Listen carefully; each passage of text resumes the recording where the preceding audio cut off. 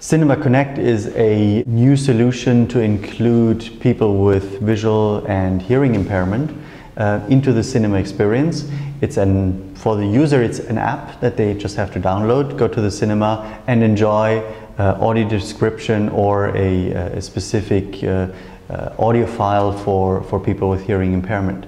Um, you could also listen to different languages and stuff like that in the future. So the cinema needs to equip uh, themselves with a, a box that connects uh, to the movie uh, uh system, which is digital today, um, and that uh, extracts the audio file, it extracts the audio description, is even able to create specific uh, files for uh, hearing impaired people if there is not a compressed file already um, and um, sends that to a Wi-Fi box and that's it.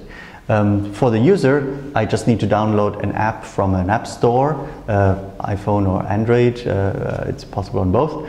Um, and they need to connect to the Wi-Fi network, which is a discrete Wi-Fi network, start the app, and then all the rest is completely user intuitive.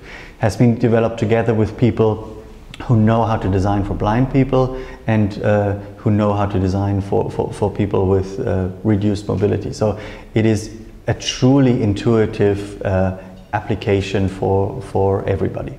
What makes this system really unique is that it's uh, extremely low latency, it's lip sync, uh, and you don't need to prepare before you come to the cinema. Other solutions need require you to download the application before or download the, the content before, and all the ma rights management, uh, all of that is uh, quite complex, uh, whether that's even possible.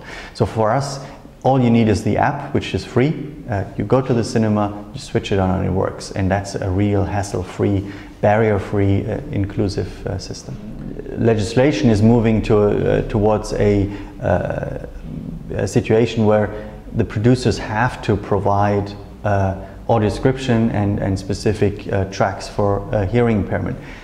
The later we can produce in the box just with filtering uh, the surround sound, take, extracting speech, reducing a little bit the effects and the music. That is all included in our system, so that doesn't have to be done, but the audio description obviously needs to be produced uh, beforehand, but that's widely available now in all movies that are produced today. And even for a lot of older movies um, that is being produced as we speak. Well, Sennheiser has been uh, on the pursuit of perfect sound since more than 70 years, so we're, we're, we're this is also expression of perfect sound. It's different for every person.